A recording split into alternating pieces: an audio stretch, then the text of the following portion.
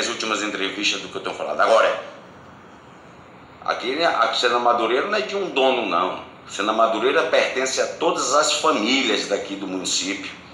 Sena Madureira é de todos os brasileiros, homens, mulheres, crianças, que escolheram aqui para viver, porque tem seu povo guerreiro, determinado, que sabe meter a mão na massa na hora que necessita para que possamos resolver os problemas e eu vou ajudar. Eu não vim aqui se é 100 sacolão, se é 150, se é 500. o céu é o limite. O que eu venho aqui é reafirmar o que eu puder fazer. Seja eu como empresário, como filho de empresário, seja eu como governador, seja eu como pai, que pai eu sou e tenho família. O que eu quero é fazer o que eu puder fazer para amenizar a dor da população. Nosso secretário de saúde está aqui, vocês sabem vocês, vocês mesmos são testemunho que eu estive aqui mês passado, dormi aqui em cena.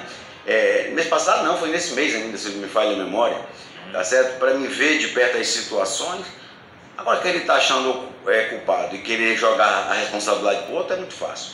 O que eu tenho feito? Cumprir regras seja na vacina. A vacina para chegar aqui foi por causa de mim, foi o governador que saiu daqui do estado e foi para São Paulo. Que não perdi tempo um minuto, porque senão não tinha começado todo esse processo de vacinação. Se eu não tivesse saído daqui, a convite do meu senador Márcio Bittar e dos, da nossa senadora Maísa e todos os integrantes da bancada federal ir para Brasília para apressar o governo federal do decreto emergencial e cutucar o governo para federal para que pudesse abrir uma brecha na lei porque como o orçamento não foi aprovado, e isso tinha que ser achar uma alternativa para que esse dinheiro pudesse chegar, já agora, essa semana.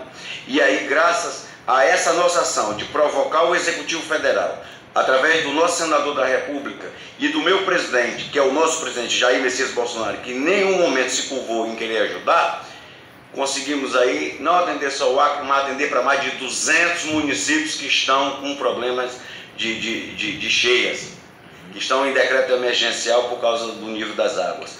Então, é uma ação dessas que é muito fácil estar falando, mas nós temos que agir, que, que eu, pensando no Acre, eu, nós conseguimos aí estender para todo o Acre. E o presidente da República está vindo para cá quarta-feira.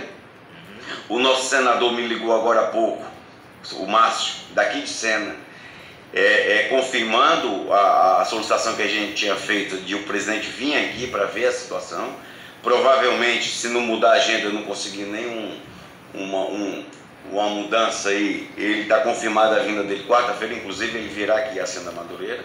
E aí a gente vai fazer o quê?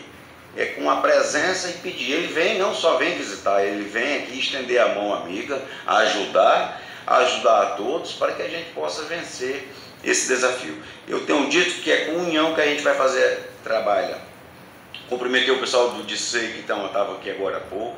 Tenho cumprimentado todos os servidores municipais, de homens e mulheres que estão se dedicando, os estaduais. Pessoal, vamos pensar, os politiqueiros, pensar de quem está incansavelmente há um ano nessa luta para, para a, a Covid, aí, o combate à Covid-19. Ainda mais ainda tem as cheias e as pessoas estão cansadas ainda ter tempo para picuinha, micuinha. Sendo a Madureira está muito maior do que isso aí. Eu não tenho tempo para me dar com esses prefeitos que não gostam muito de. Eu gosto de fazer barulho, que eles continuem fazendo barulho deles que eu vou cuidar do povo.